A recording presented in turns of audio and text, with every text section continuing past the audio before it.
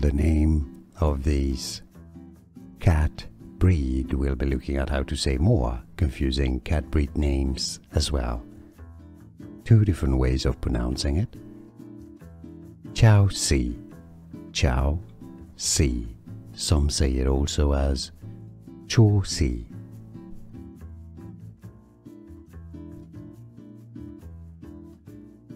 The name of cat breed. We'll be looking at how to say more confusing cat breed names as well. Two different ways of pronouncing it. Chausie. Chow Si. Some say it also as Cho Si.